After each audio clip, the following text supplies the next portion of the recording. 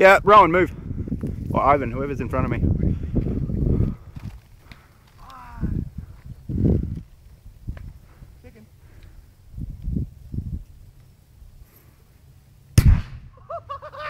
Yeah, that was a big one.